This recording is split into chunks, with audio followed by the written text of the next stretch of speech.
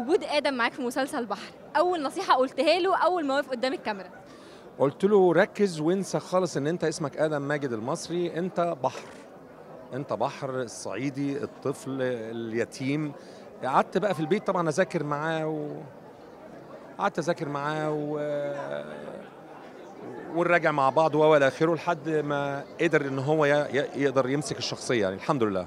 كنتش خايف عليه من دخوله الوسط الفني؟ لا خالص الوسط مش مضر يعني.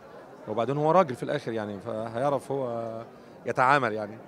قولي، آه، وجودك في لوكيشن مع بابا بقى كان مديلك رهبة ولا كنت مطمن؟ لا أنا في الأول كنت متوتر يعني في أول يوم كنت متوتر اللي هو إيه الناس دي كلها والكاميرا أنا كنتش فاهم أي حاجة أصلا.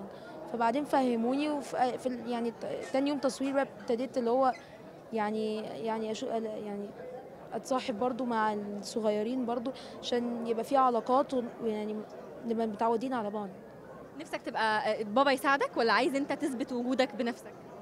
لا كان أنا المفروض اخد مساعدة من بابا وبرضو الاثنين أستاذ ماجد انت شايف إيه؟ شايف ان وجودك معاه في وسط واحد المفروض انك تساعده ولا تسيبه هو بقى حسب هو موهبته؟ لازم هساعده طبعا لازم هساعده باستمرار بس هو أدم من النوع اللي بيحب يعتمد على نفسه. فأنا بس براقبه من بعيد لبعيد كده وأشوف لو محتاج حاجة أنا هعملها له. شايفه مش محتاج حاجة وتمام أو أقول له ريب منتهى الصراحه المصري جان السينما وجان في الدراما وجان في الحياة. دايما ملتزم الصمت. أي حاجة على السوشيال ميديا ما بنشوفكش لا بتطلع ترد ولا بتوجه أي حاجة لحد مهما كان اللي بيطلع يقول لك كلام يضايقك ما عنديش وقت.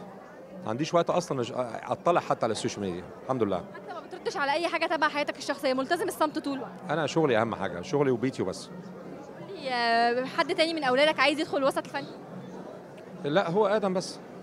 آدم وعندي أحمد مخرج.